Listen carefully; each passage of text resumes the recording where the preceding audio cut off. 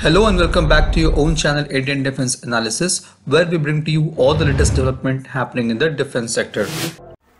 In July 2023, the Lieutenant General MV Suchindra Kumar visited various defense industries and research laboratories in Pune and was briefed on the ongoing defense related projects.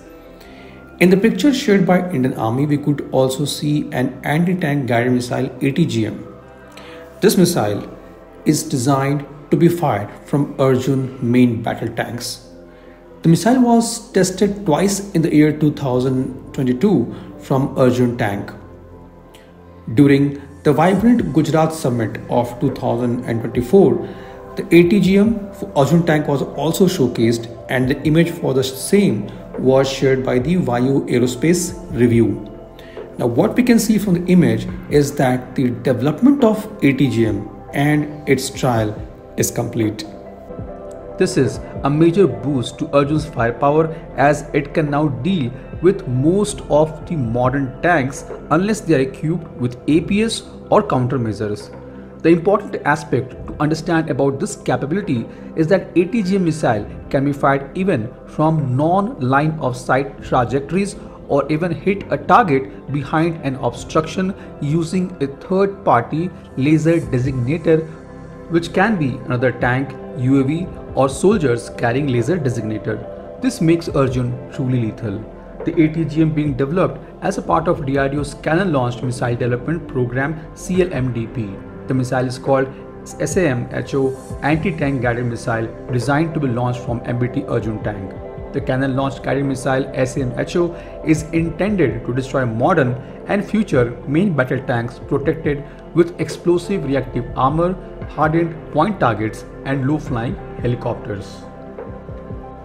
The key feature of ATGM is semi-active laser homing guidance. The first trial of the missile was carried out successfully in September 2020, followed by second trial in October from an Arjun tank.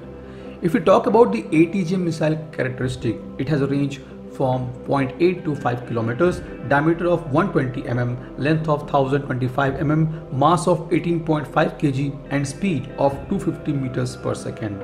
The warhead used is tandem high explosive anti-tank or heat capable of defeating explosive reactive armor protected armor vehicles.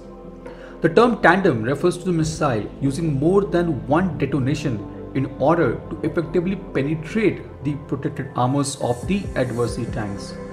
The missile uses micro electromechanical system or MEMS based inertial navigation for mid-course guidance and laser seeker for terminal guidance. Besides targeting tanks, the missile is also capable of neutralizing low-flying UAVs and helicopters. The target can be designated from a stand-alone laser designator or the launch platform itself. Another important and noticeable aspect about this test is the low signature of fire and the accuracy of the terminal guidance. Because of these, the designated target does not get proper warning, which in turn protects the firing tank. This will add significant punch to Arjun's capability, though Indian Army maintains only a fleet of 242 Arjun MBTs. While this is a significant development, but we all know that ATGMs are quite expensive. Therefore, DRDO should also start working towards less expensive option, which is FSAPDS munitions for Arjun tank. This was today's update. Please let us know your views on this in comment section. If you like the video, do not forget to like, share and subscribe. With this, I would like to say goodbye and Jai Hind. We'll soon back with more interesting and amazing development happening in the defense sector.